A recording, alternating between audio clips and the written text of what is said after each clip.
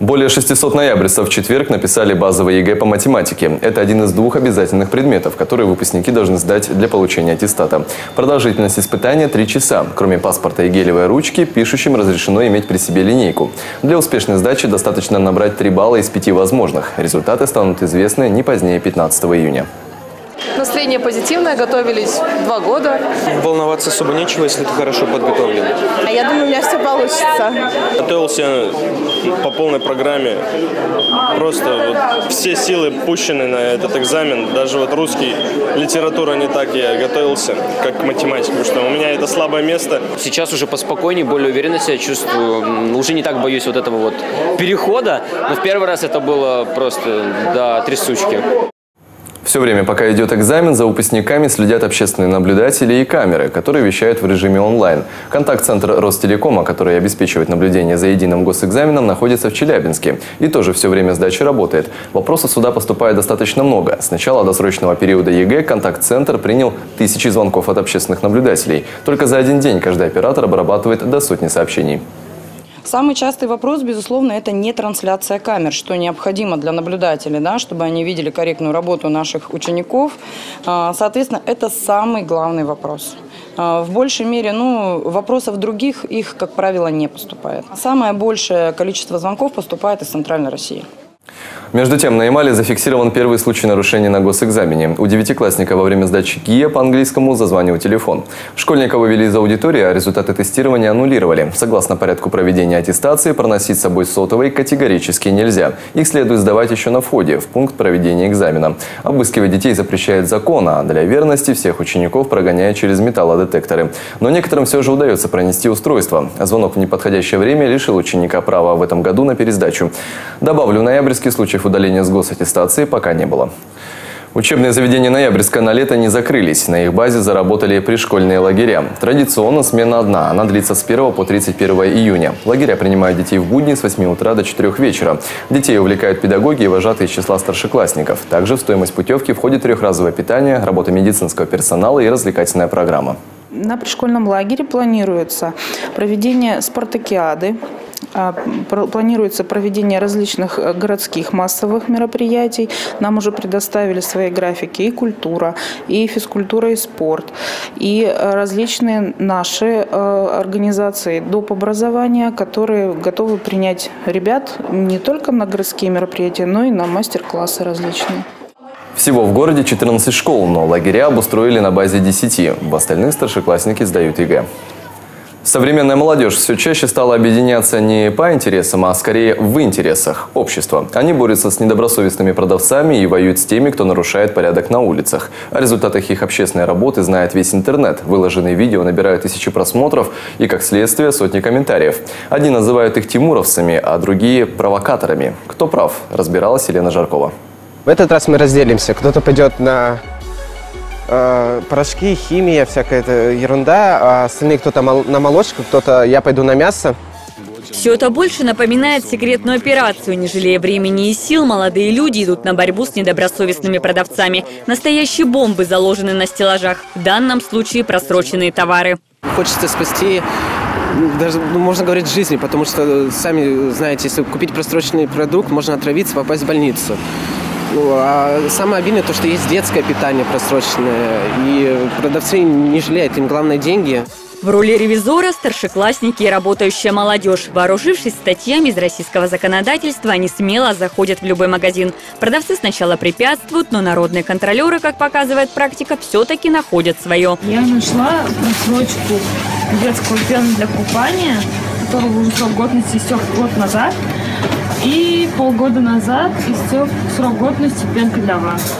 Сдутые банки, испорченные упаковки, ненадлежащее хранение товаров. В конечном счете усмиряют полторговцев. Итоги рейда фиксирует камера. Смонтированные ролики юные хранители порядка тут же выкладывают в интернет. Комментарии ну, под, под видео каждый день просматриваю, делаю для себя заметки.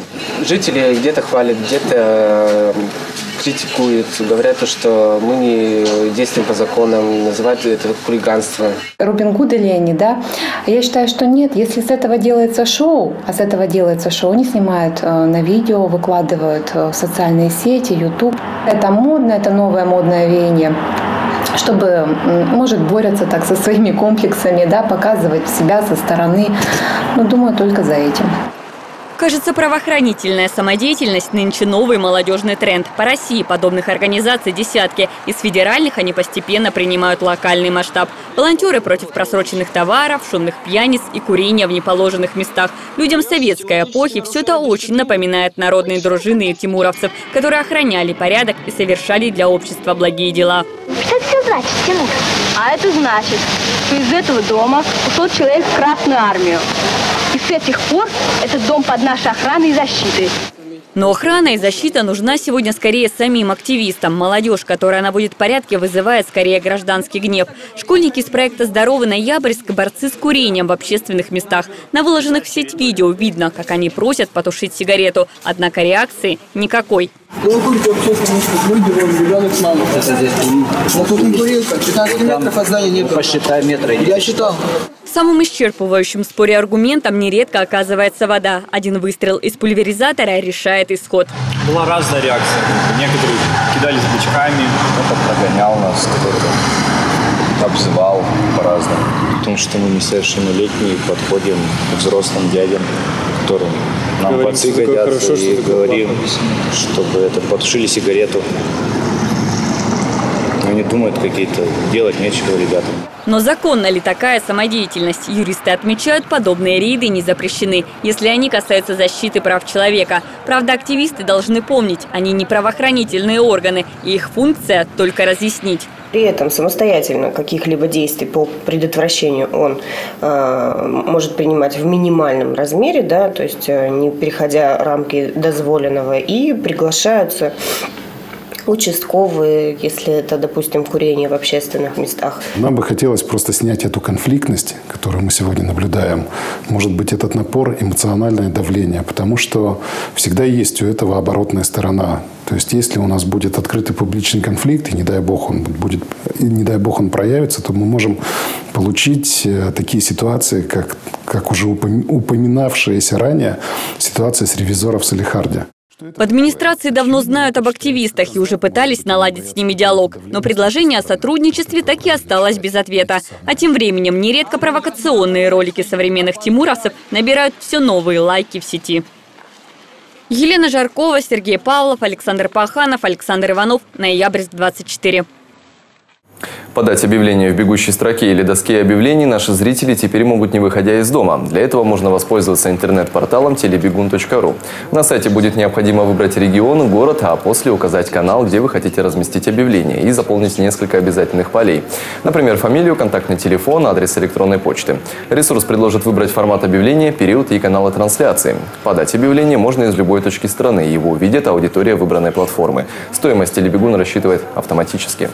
Вы можете подать объявление о поиске персонала, о покупке или продаже личного имущества, объявление поздравления и другую, и другую информацию социального характера. Сервис телебегун.ру – это уникальная услуга для нашего города. Тем не менее, двери офиса рекламного агентства «Город» всегда открыты для наших клиентов. И на этом выпуск завершен. Всего вам самого доброго. Салон-магазин «Мужской клуб». От аксессуаров до верхней одежды. Трикотаж, джинсы, рубашки, пиджаки, костюмы, галстуки и многое другое. От 44 до 74 размера. От стиля casual до классики. Зивер от Жибос, Готтой, Клингер, Три богатыря. Качество, проверенное временем. Салон-магазин «Мужской клуб». Мужской стиль, мужской характер. Улица Республики, 41.